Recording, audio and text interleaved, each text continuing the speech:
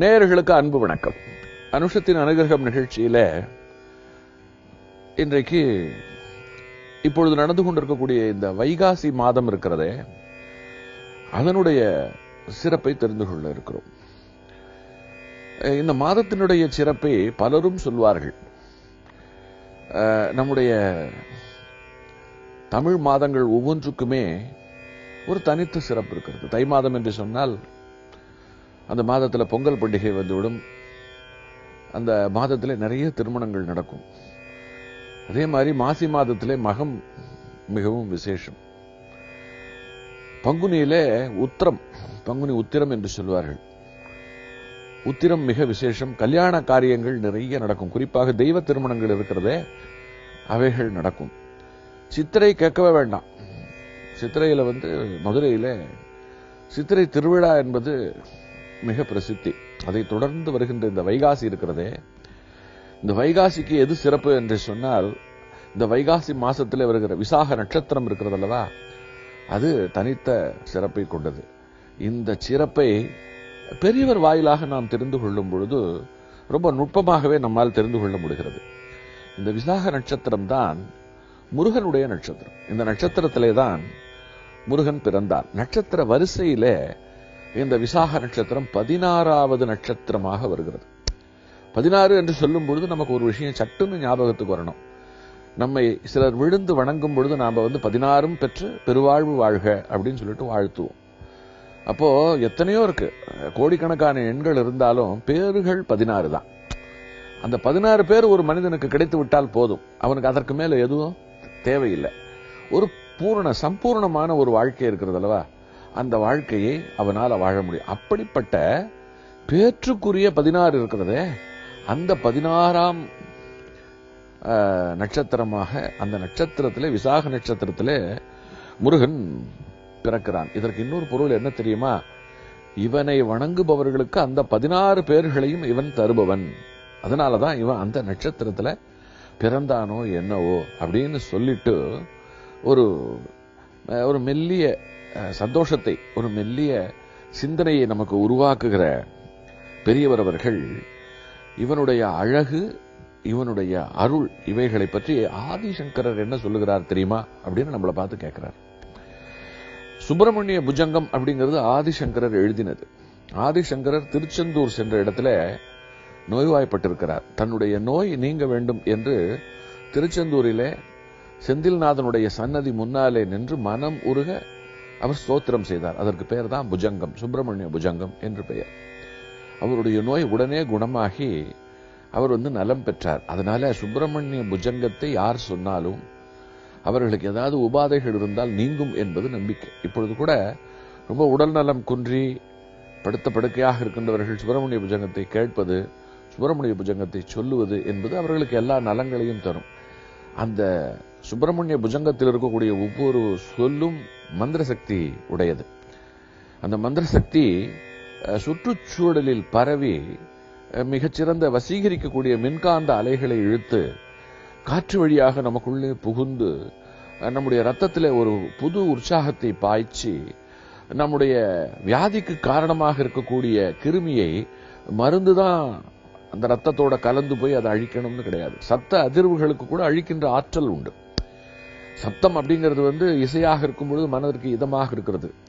பக்கத்தில் ஒரு வெடிகுண்டு வெடிக்கிற சப்தம் கேட்கும் பொழுது காது ஜவ்வு கிழிந்து நாம் கேட்கும் சக்தியை கூட இழந்து விடுகிறோம் நம்மளை தீண்டி தான் ஒரு விஷயம் நம்மளை காயப்படுத்தணும் நம்மளை வந்து கஷ்டப்படுத்தணும் அப்படின்னு கிடையாது. சப்தங்களுக்கும் அந்த சக்தி உண்டு. அந்த அடிப்படையில் சுப்பிரமணிய புஜங்கத்திற்கும் நம்முடைய நோயை தீர்க்கின்ற ஒரு ஆற்றல் உண்டு. அதை ஆதிசங்கரர் வந்து திருச்செந்தூரில் தான் பாடினார்.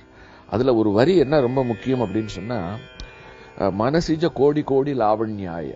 மனசிஜ கோடி கோடி லாவண்யாய அப்படின்னு சொல்லிட்டு முருகனை அவர் வந்து வர்ணிக்கிறார். அதாவது கோடியை கோடியால பெருக்கினா எவ்வளவு? கணக்கே போட முடியல இல்லையா? கோடியே ரொம்ப பெருசு. அந்த கோடியை இன்னொரு கோடியால பெருக்கினால் எத்தனை கோடி வரும்னே சொல்ல முடியல. அத்தனை கோடி அழகுள்ளவன் முருகன். அப்படின்னா அவனோட அழகை நம்மளால கற்பனை செய்து பார்க்க முடியல. கோடி கோடி மன்மதர்கள் ஒன்று சேர்ந்த ஒரு அழகோடு இருக்கிறார். மனசிஜ அப்படின்னு சொன்னா மன்மதன். ஆஹ், இவன் வந்து விஷ்ணுவனுடைய மனசுல உதித்தவன். மன்மதன் வந்து விஷ்ணுவனுடைய மானச புத்திரன். மனசுக்குள்ள தோன்றினவன். மன்மதன் ரொம்ப அழகானவன். விஷ்ணுவனுடைய நாபியில் உதித்தவர் பிரம்மா. இந்த இடத்துல இந்த தகவல்களை எல்லாம் நமக்கு தருகிறார். இதுல கிருஷ்ணனும் மன்மதனை விட மிக அழகானவர் அப்படின்னு சொல்றார். முப்பத்தி ரெண்டு லட்சணங்கள் கொண்ட கிருஷ்ணன் இருக்கானே அவனும் மிக அழகானவர் அப்படின்னு சொல்லிட்டு ஏன்னா பாகவதத்துல கிருஷ்ணனை பற்றி சொல்லும் பொழுது சாட்சாத் மன்மத மன்மத அப்படின்னு ஒரு வரி வருகிறது. அதை சாட்சியாக சொல்லுகின்றவர் இங்கே முருகனுக்கு என்ன சொல்றாரு தெரியுமா? முருகன் சிவபுத்திரன். இவன் கோடி கோடி மன்மதன்களைப் போல அழகானவன். இவன் சிவனுடைய நெற்றிக்கண்ணிலே இருந்து உதித்தவன். அதே நெற்றிக்கண்ணில் தோன்றின நெருப்பு இருக்கிறதே அதில் அழிந்தவன் மன்மதன். அஹ், மன்மதனை வந்து அஹ், அஹ், சிவபெருமான் சுட்டெரித்து விடுகிறார். அதற்கு பின்னால ஒரு புராண சம்பவம் ஒன்று இருக்கிறது. அதான் சொல்றார் ஒருவன் இதே நெற்றிக்கண் ஒருவன் அதில் தோன்றியவன் ஒருவன் அதில் மறைந்தவன். தோன்றியவன் வந்து குமாரன் மறைந்தவன் மாறன். மன்மதனுக்கு மாறன் அப்படின்னு ஒரு பேர் உண்டு. இந்த பேர் ஒற்றுமையை சொல்லி சொல்றார். அதாவது ஆஹ், தீயில் கருகி அழிந்து போகின்றவன் பெரியவனா? அந்த தீயில் தோன்றி அழகோடு முழுகின்றவன் பெரியவனா? அப்படின்னு சொல்லிட்டு இந்த இடத்துல நம்மளை பார்த்து கேட்காம கேட்கிறார். இதெல்லாம் வந்து முருகனை பற்றி அஹ், நாம் கற்பனை செய்து பார்ப்பதற்கும் முருகன் எத்தனை அழகானவன் அப்படிங்கிறது மட்டுமல்ல எத்தனை கம்பீரமானவன் அவன் எப்படிப்பட்ட நிலையில இருந்து பிறந்தவன் அப்படின்னா அவனுக்கு எவ்வளவு சக்தி இருக்கணும் எவ்வளவு கருணை இருக்கணும் அப்படிங்கிற ஒரு கற்பனைகளுக்குள்ள நாம நுழையணும். நம்மள அவர் வந்து இழுக்கிறார். நீங்க இப்படியெல்லாம் யோசித்து பாருங்கள். இப்படியெல்லாம் சிந்தித்து பாருங்கள் அப்படின்னு சொல்றார். அப்படிப்பட்ட அந்த முருகன் இருக்கிறானே. அவனுக்கு உகந்த விசாக நட்சத்திரம் இந்த வைகாசி மாதத்திலே தான் வருகிறது. ராமாயணத்துல கூட விஸ்வாமித்திர ராமலட்சுமணர்களுக்கு முருகனுடைய கதையான குமார சம்பவம் இருக்கிறது இதை கதையாக சொல்லுகிறார். ராமனுக்கே வந்து இந்த கதையை சொல்லுகிறார் அப்படின்னு வரும்பொழுது அவன் வந்து எவ்வளவு பெரிய விஷயம்.